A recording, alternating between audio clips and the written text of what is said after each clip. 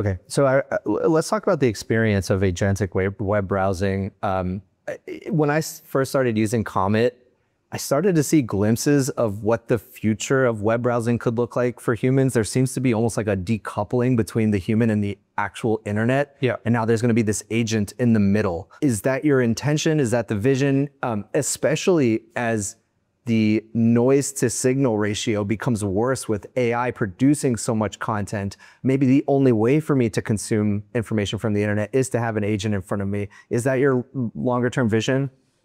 I hope the web doesn't become that bad that like most of the content is just AI junk and slop. It already feels like that to me today. Like whenever I post a tweet now on X, like um, a, ton of responses are bots and I keep marking them as like spam or bots and um, it, it seems pretty hard to fight it. Um, yeah.